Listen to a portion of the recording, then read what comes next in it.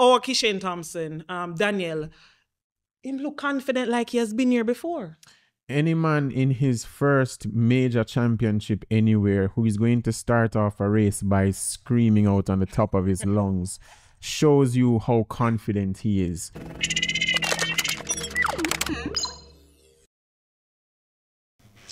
Like you, we had a bittersweet moment. We had some very big highs and there were some lows. Welcome to another episode of Paris Today, powered by Flow. I'm your host, Trishana McGowan.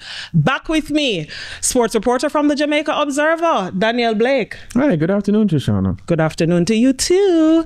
And joining us for the first time, we have Davian Nugent. He's a he's a track and field analyst and now a host on radio. Good afternoon. Good afternoon to you, Trisha, and good afternoon to everybody watching. Yeah, so like I said, a bittersweet moment. We had some very highs and we were and the world including us were dealt some lows let me let me bring you in as our guest mm-hmm. and then go to the regular man daniel blake um yeah, the highs. Let us yeah. start there. It's easier to start on the high, mm-hmm. and then we can go to the lows. Yeah, big moments for us in the field events. Big moments for us in the field events. Um, particularly happy happy for for Rajindra Campbell. Um, he's had a very tough time at it at the international events. Last year at the World Championships, three throws, three falls. Yeah. Um, World Indoors this year, three throws, three faults. And people were genuinely starting to ask questions about whether or not he has the mental fortitude to go up against the world and execute on the day. Um, 22-1-5 to win the bronze medal today was in silver medal position for a very long time. Um, that's very, very close to his own own national record of 22 um, 2 2. So yeah. it shows that on the day, with the lights on, as they are now, he can he execute. Yeah. Yeah. Um, yeah, he was. Yeah. I, he, he had me nervous for a bit, mm. but based on how the field event athletes were doing this season, um, I've penciled them in for a number of medals. Mm-hmm. Um, Daniel, when you looked at um, Shanieka Ricketts as well in the women's triple jump, Rajindra getting the job done, uh, a big moment adding to the caliber of the field event athletes on the global stage. Yeah, it, it, it's a huge thing. And I think that's that shows growth in our track and field in that, um, like I mentioned um, on, a, on previous platform, the fact that we've we've had the women's 100 today and we had a 4x4 relay event for our two medals to come from the men's shot put and the women's triple jump shows that we have really elevated not just being um, a sprint nation but you know we can compete elsewhere. Um, was very um, good, but he was also very fortunate because he ended up getting that big throw early on,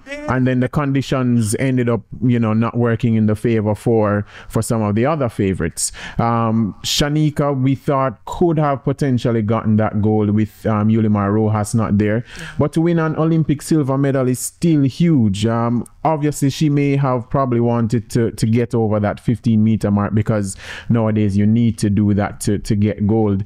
Um, but to get an Olympic silver medal um, is is no no feat to take lightly. So um, yeah. it's a great day for for Jamaican track and field in, in my eyes. I like that term. Mm. Let him end on. It's a yeah. great day for Jamaica's track and field. Yeah, because field. too often I think people forget the field and athletes are just as important, and them not done yet, you know. No, because like I said, I have penciled them in for a number of medals them not done yet. Um, the men um, long jump and triple jump to come, and we should see some more fireworks. And you know what happened though with the field events, um, gentlemen? People, like I said, it's like people look to them just in case something not going right mm. on the track. But I think you think that is shifting, Daniel.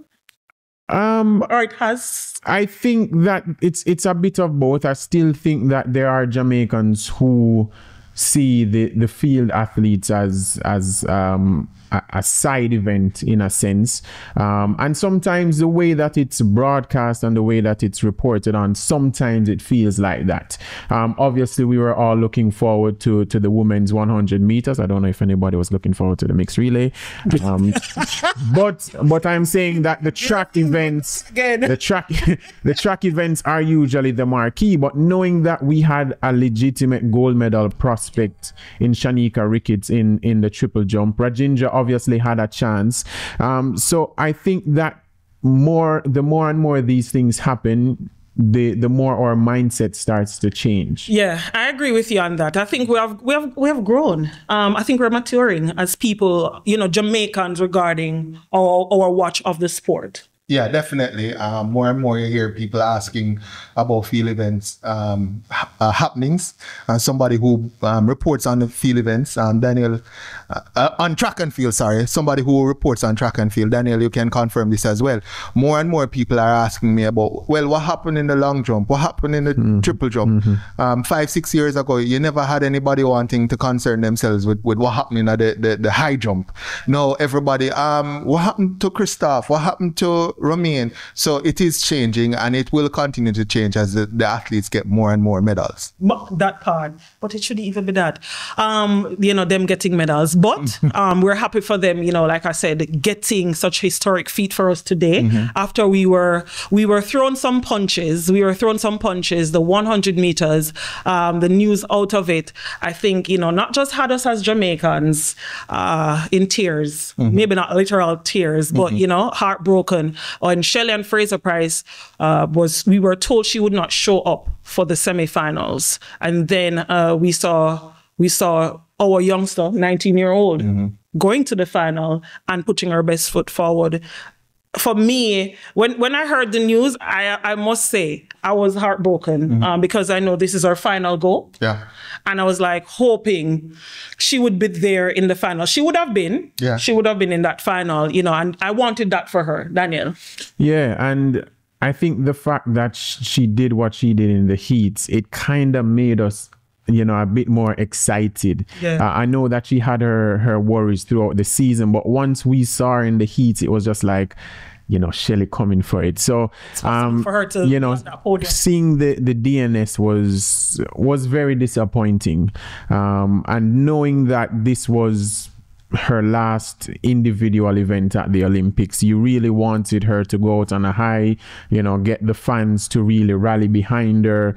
Um, but it, it's just really unfortunate. But I I don't want people to think that this is, uh, I guess, doomsday in a sense because she's had a fantastic career oh to to win gold in 2008, 2012 to, to medal in 2016 and 2021. This is her fifth Olympics. Yeah. So At it's 37 years so old. it's not it's not the end of the world. She's she's still an icon. She's still a legend. It, yeah. It's just an unfortunate way to go out. And and I think for me, had she gotten to the final and gotten to on the podium or not even on the podium, um, she's still an icon, like Daniel would have said. You know, she has done her body of work speaks for itself, and that cannot be erased because of an injury and a, and a, and a do not start. Um, let us see how well if she will be able to show up for the relays. But let us touch on Tia Clayton, mm-hmm. 19 years old, her first Olympic Games. What a debut for the youngster. What a debut for, for the youngster. At the start of the year, many folks didn't even see her making or, or finals at, at the national trials. Many folks, even on social media, were telling me you're a madman for even thinking that she would make the finals at our trials. Mm-hmm. And she ends up making the Olympic um, finals. It's it's a transitional year for Jamaica on the traditional big three. I mean, like, I don't, I don't want nobody to cuss when them hear this, but the, the big tree get chopped down.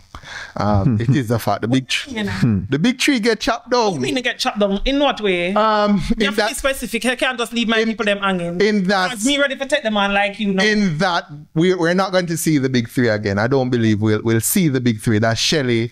Um, together, together, together. We may see. Choose we, your words carefully. We may see Shericka and Elaine and even Shelley um, coming back, but I don't see like we had the one, two, three. I don't see that happening again. What is happening now is a transition, and Tia is the spearhead of that transition because there's so much talent to come. Her sister Tina, um, Liston in college, Crystal, Crystal slowly, Kevona um, Davis, so much yeah. talent coming up. Reed, who's there. yeah, Kemba so, Nelson also there. Yeah, and I think these girls starting next year, they're going to start to step forward and and be the sharp end end of the Jamaican sprinting spear. Yeah, uh, Daniel, that changing of the guard can Jamaicans don't handle that term very well because they sometimes see it as, oh, we are, we are get rid of our count out the, the seniors now. Shericka Jackson just turned 30 years old, July 16. Um, Elaine Thompson-Herah is 31, thereabout, hmm. or 32. Um, Shelly-Ann Fraser-Pryce, we already know, 37 years old. Changing of the guard, is it, that's what, is it, are you there and excited about, you know, to see what other youngsters coming? I mean, changing of the guard has never mattered to me. I'm always, no matter who lines up, whether Elaine decides to run at 48 and she's still qualifying for the team. I, I really just want to see our best talent or most committed talent out there.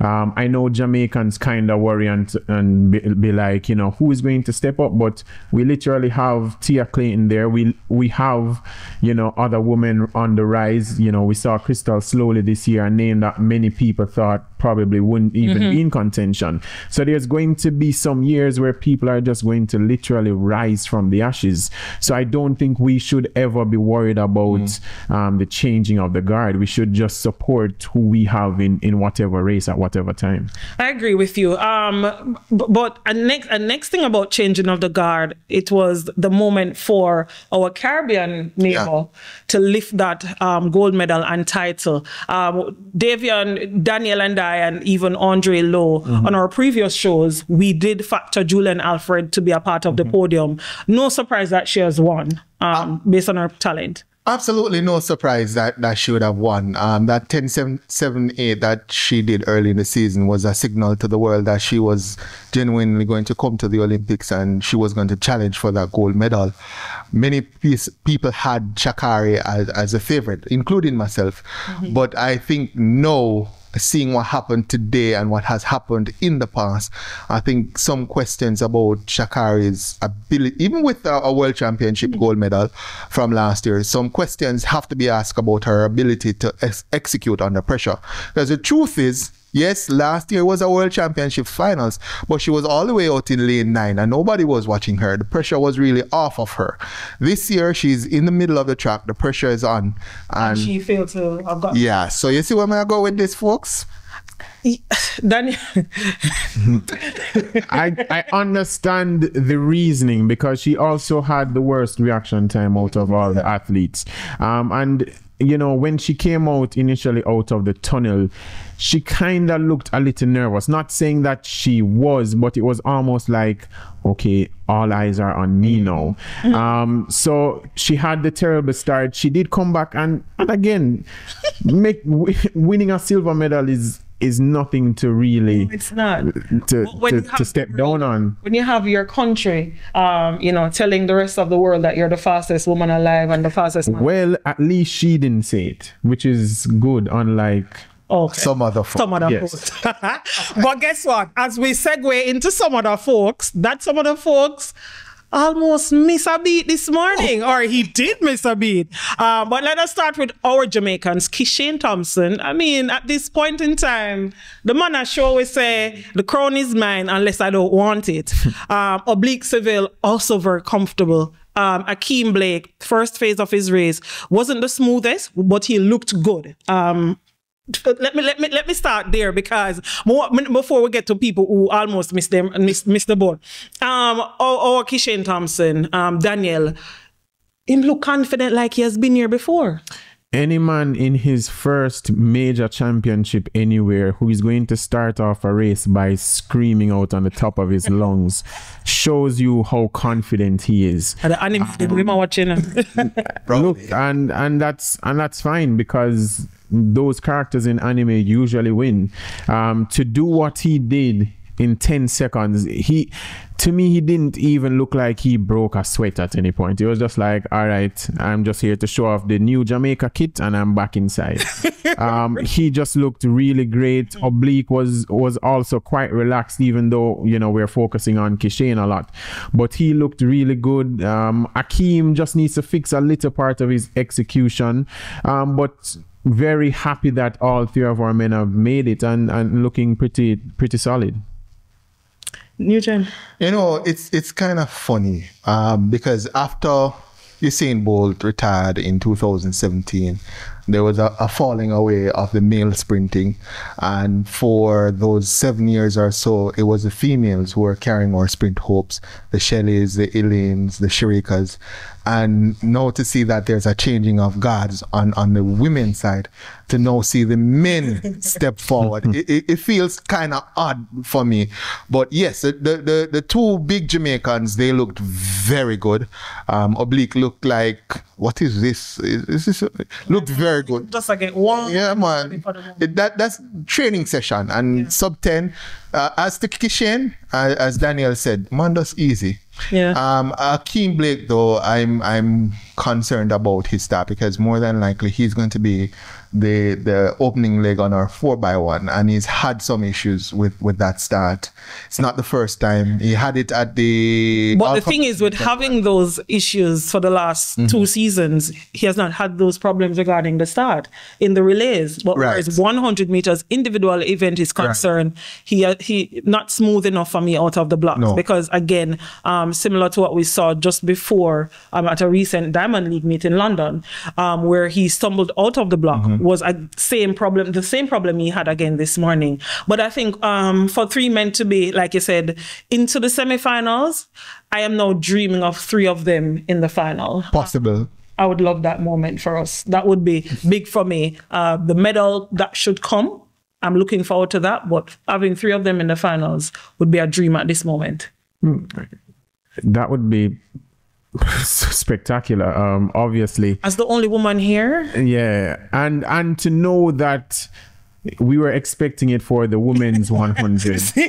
no, and See, no, but yet. I still no, said, you no, know, say as the only woman here. No, but but knowing that it hasn't been done for us in in an mm-hmm. extremely long yeah. time for to have three men in the final would be would be spectacular and hoping that Akeem fixes um, whatever he needs to fix because there could be a possibility where we could have our men finishing in the top four top five yeah, that would be good for us. Um, and when you look at the team and the relay to come, but let us talk about. We just uh, give him a little one tar because the, he has been talking about being the fastest man alive right? When in fact he isn't. But anyway, that's a conversation for another time.